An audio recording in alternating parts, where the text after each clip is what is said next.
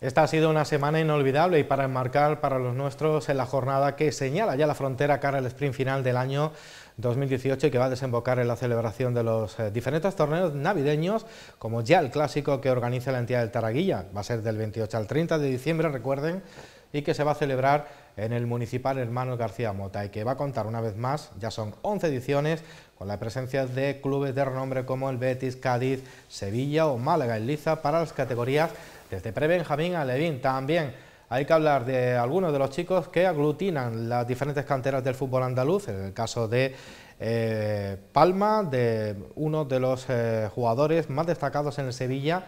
y que ha jugado uno de los campeonatos más importantes prenavideños.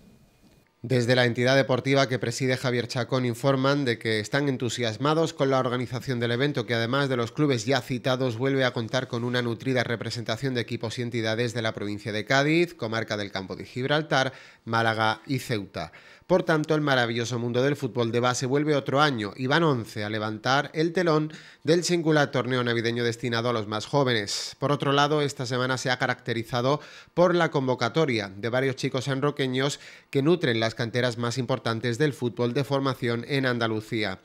Por un lado, Lucas Palma, sanroqueño, las filas del Sevilla Fútbol Club Alevín ha sido protagonista de la nueva edición, la novena entrega de Media Golf Cup, disputada del 14 al 16 de diciembre en el nuevo Estadio Municipal de Cornellá, en Barcelona, y que se podrá disfrutar en diferido por el canal deportivo en abierto Gol los días 24, 25 y 26 de diciembre.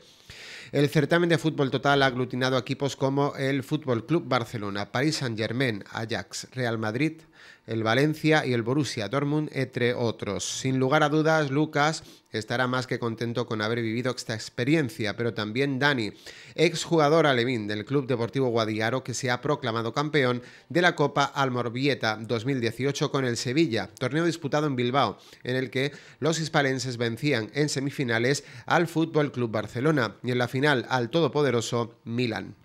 la primera andaluza infantil, donde está el San Roque en este nuevo capítulo de liga, ha logrado un sensacional empate a uno a domicilio, esta vez ante la escuadra nubense de la Cultural Nuevo Molino. No hay que olvidarse del Benjamín C del Taraguilla, que con Iván Chacón y Borja se han proclamado vencedores del torneo Benjamín Hermanos Valdivia, disputado en la línea el pasado domingo día 9.